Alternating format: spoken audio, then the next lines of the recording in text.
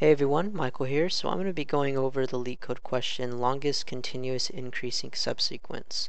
So the statement is given an unsorted array of integers, find the length of the longest continuous increasing subsequence.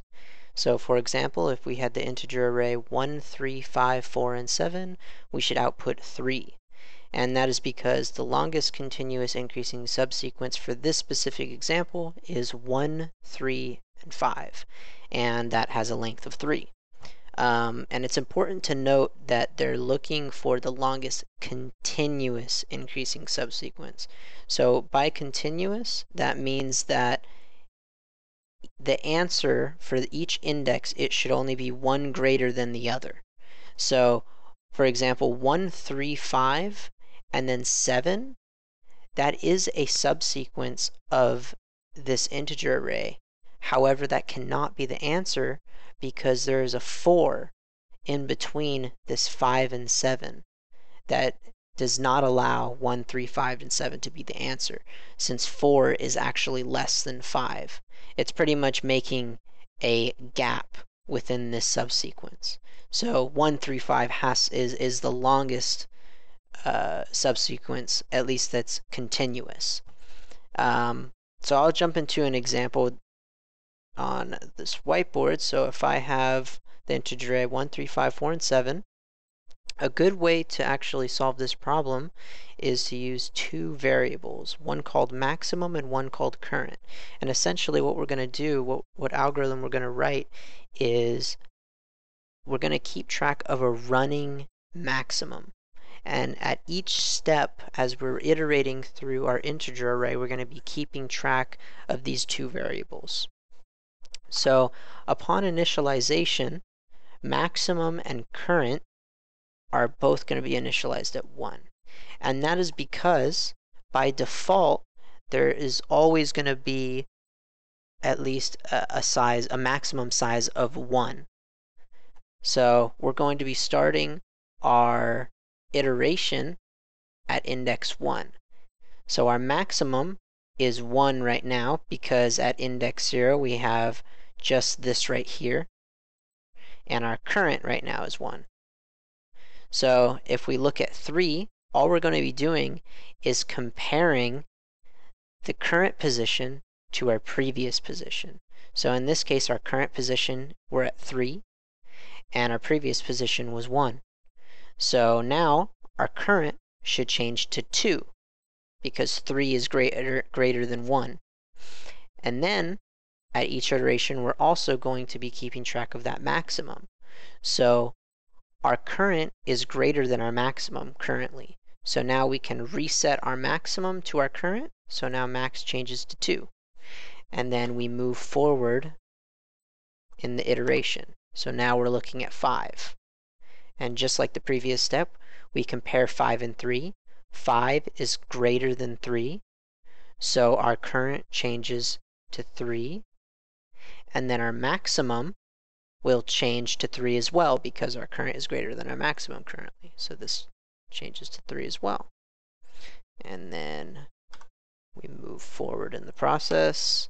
Now we're looking at the number 4. Uh, however, in this case, 4 is less than 5. So we're actually going to be resetting this current to 1 and that is because we're we're looking at this as an entirely new subsequence now because it has to be continuously uh, continuously increasing. Um, our maximum, however, will stay the same because 3 is greater than 1. Our maximum is currently greater than our current. And then we move forward to 7. And once again, we compare 7 to 4. 7 is greater than 4, so this current increases by 1, and this changes to 2. Uh, but our maximum is still greater than our current, and we've reached the end of the array, so our answer is whatever max is, and that is 3. So that is the algorithm. All we need is two integer variables. Uh, it's a pretty simple algorithm to follow. Uh, once I write down the code, I'm sure it'll make more sense. So the first thing we want to do is we want to sanitize our input, you know, make sure that if we are given a null array or a size of zero that we handle that. So we can say if nums equals null or nums.length equals zero, then just return zero.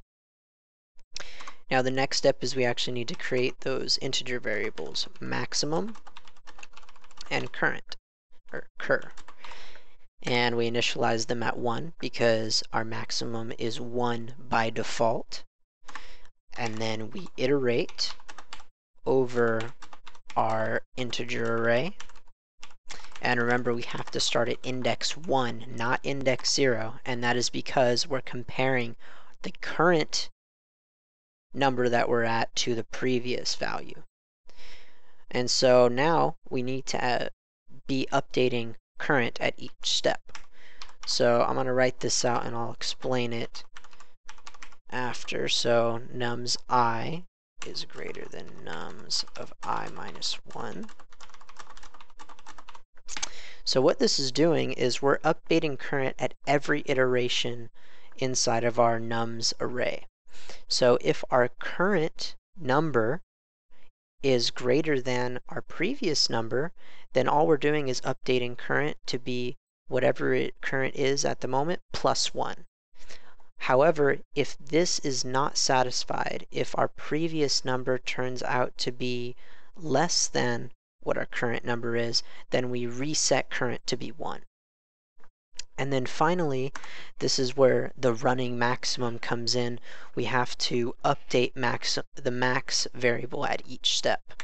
So in this case, we can just say max equals math.max of max and current. So this just pretty much assigns max to be whatever is larger, either max or current.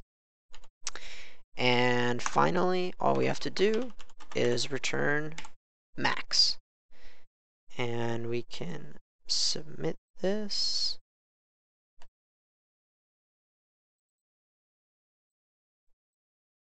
And it's pending so it's going to go through each test case and hopefully everything passes.